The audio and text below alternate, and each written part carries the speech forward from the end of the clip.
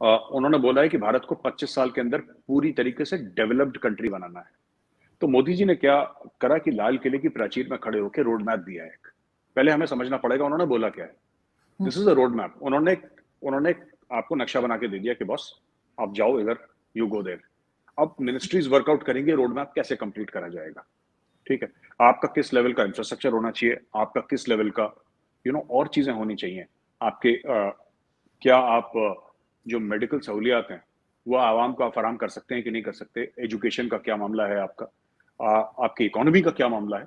ये सब जो चीज़ें हैं इन पे काम चल रहा है। इकोनॉमी अच्छी चल रही है लेकिन और अच्छी चलनी चाहिए।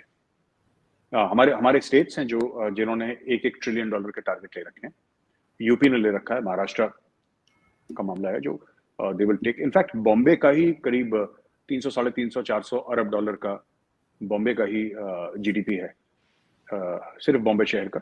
तो ये सब हमारे दो तीन स्टेट्स हैं which are very capable of being trillion dollar states तो आरज़ू जी, ये करेंगे और इस तरीके से इकोनॉमी बनेगी इंडिया की फाइव ट्रिलियन की और फिफ्टीन ट्रिलियन की भी बनेगी गॉड विलिंग और ये सब होगा। तो इसके पीछे बेसिकली क्या हुआ ना कि मोदी जी ने जब लाल किले से बोला, मैं कई बार लोगों, मेरे पाकिस्तानी दोस्त ने बोला भी कि मोदी जी ने जो बात बोल, मैंने बोले, बात नहीं बोली।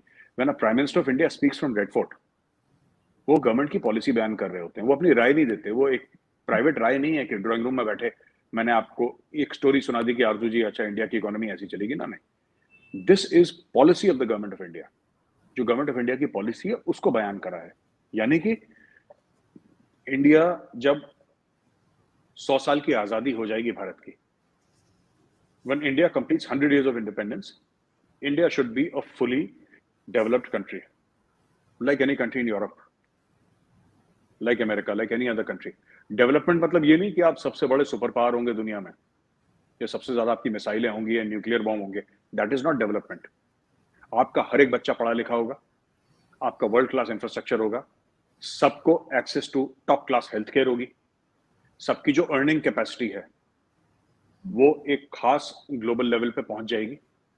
लोगों का एक खास लेवल का इन्वेस्टमेंट आएगा। भारतीय खास लेवल और अभी जो इंडिया की ग्रोथ है ना वो थोड़ी सी आ, ऐसी है कि जैसे इंडिया के गौतम अदानी हैं वो दुनिया के टॉप टेन में आ गए हैं। नंबर फोर या नंबर फाइव ऐसे हैं गौतम अदानी। बिल गेट्स को पीछे छोड़ दिया। फिर मुकेश अंबानी भी ऐसे हैं। फिर कुछ लोग हैं जो बहुत गरीब हैं जो दिन में सिर्फ़ एक बार खाना खाते हैं। ये इसको हमने मैनेज करना है। किसी तरीके से ना कि जो अमीर हैं वो तो अमीर बने ही लेकिन जो गरीब हैं उनको भी ऊपर लाया जाए। तो इसके लिए कई सारी पॉलिसीज़ हैं जो सरकार लेकर आ रही है। और मुझे लगता है हो जाएगा मुझे लगता है पच्चीस साल से पहले हो जाएगा ये। बट मोदी जी ने पच्चीस साल का दिया है बट मुझे लगता है पच्चीस साल से पहले हो जाएगा कर देंगे। एटलीस्ट सोचा तो उन्होंने कम से कम सोच तो रहे हैं वो कि इस तरह से होना चाहिए। तो कहा जाता है जो सोच नहीं नहीं अर्जुन जी सो, सोचना वोचना नहीं है इनका ये ये बहुत खिलाड़ी लोग हैं ये लोग ये सोचा नहीं है कर देंगे। मैं आपको बता रहा हूँ मोदी जी ठीक है मोदी जी इसमें सक्सेशन प्लानिंग होगी कि मोदी जी के बाद कौन प्रधानमंत्री बनेगा देश का? हम्म। कौन अगला फाइनेंस मिनिस्टर बनेगा, हमारी क्या पॉलिसीज़ होंगी? ये पूरा एक इकोसिस्टम है जो तैयार करा जा रहा है भारत में। इट्स इट्स नॉट जस्ट कि उन्होंने सिर्फ़ सोच के बोल दिया क्योंकि उनको पंद्रह अगस्त को कुछ तो बोलना था। तो चलो बोल देते हैं, चलो मज़ा आएगा, एक चीज़ नहीं।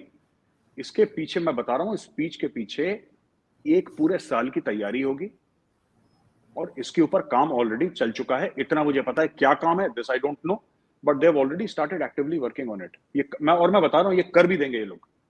ये कर देंगे। मोदी जी ने आह्वान दे दिया ना, लोग लग जाएँगे पीछे, मैं बता रहा हूँ इसके। ये इसको कर देंगे।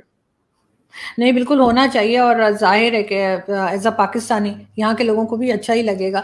लेकिन एक चीज़ और लास्ट में मेजर साहब पूछना चाहूँगी, और वो ये कि अमेरिका के बारे में भी ये कहा जा रहा है कि वहाँ के हालात भी ठीक नहीं है, उनकी अपनी भी जो इकोनॉमी है, वो भी खराब हो रही है सिविल वॉर जैसा एक वहाँ पे भी कुछ, खतरा है हो जाने का। अगर ऐसा हुआ तो आपके ख्याल से फिर क्या चाइना को या रशिया को फ़ायदा होगा? किसको फ़ायदा होगा इससे? देखिए मुझे नहीं लगता अमेरिका में कोई सिविल वॉर हो रहा है। इकोनॉमी रिसेशन की ओर जा रही है अमेरिका की ये बात सच है। पर ये पूरी मार ना देखिए बात ये होती है आरज़ू जी की पूरे ग्लोब में मार पड़ रही है ये। इंडिया हम्म। थोड़ा सा स्टेबल है। हम्म। लेकिन सबको मार पड़ रही है। सिर्फ़ ये अमेरिका को नहीं पड़ रही। और दूसरी चीज़, जब आप अरबों खरबों खर्च करेंगे ना जंगे लड़ने में, इनको, जैसे अफ़गानिस्तान में इन्होंने, ठीक है, इनके कंपनीज़ को फ़ायदा हुआ, लेकिन आम अमेरिकन को तो घाटा हो गया ना। अब अमेरिका को अब अकल आई है कि अफ़गानिस्तान में क्या करना है। इन्होंने किर्गिस्तान या कजाकिस्तान कहीं पे अपना ड्रोन का बेस बनाया वहाँ से ड्रोन मारेंगे ठीक है। और अमेरिका कुछ कुछ पैसे लगाएँगे कुछ हंड्रेड टू हंड्रेड मिलियन का बजट बनाएँगे जो कि अमेरिका के लिए पीनट्स हैं पीनट्स हैं बिल्कुल। और नदन अलायंस को खड़ा कर दें। अगर इनको तालिबान को लाइन पे लाना है तो। अगर इनको नहीं लाना लाइन पे तालिबान को, फिर अलग बात है। लेकिन अगर इनको लाना है लाइन पे और तालिबान को टाइट करना है तो नदन अलायंस बैठा हुआ है। फंड ही तो करना है आपको नदन अलायंस को। आपको पैसे देने आपको हथियार देने हथियार और पैसा दो चीज़ें जो अमेरिका के पास भर भर के हैं। अमेरिका देगी, वो गुलबदीन, हिकमत और पूरे जितने भी इनके पुराना ये गैंग है, ये सब खड़ा हो जाएगा।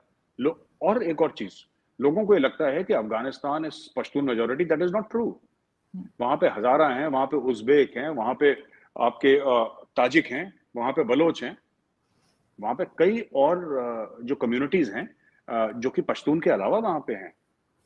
And they can all find you know identification under the banner of the Netherland खासतौर से जो ताजिक हैं नदरलैंड्स वाले हैं ही ताजिक को हम्म। तो ये चीज़ है जिस दिन अमेरिका चाहेगा अमेरिका ये कर देगा। ज़्यादा पैसा भी नहीं खर्च करना। खुद अपने बंदे मत उतारो। अफ़गानिस्तान में हथियार है लोग हैं जो लड़ना चाहते हैं।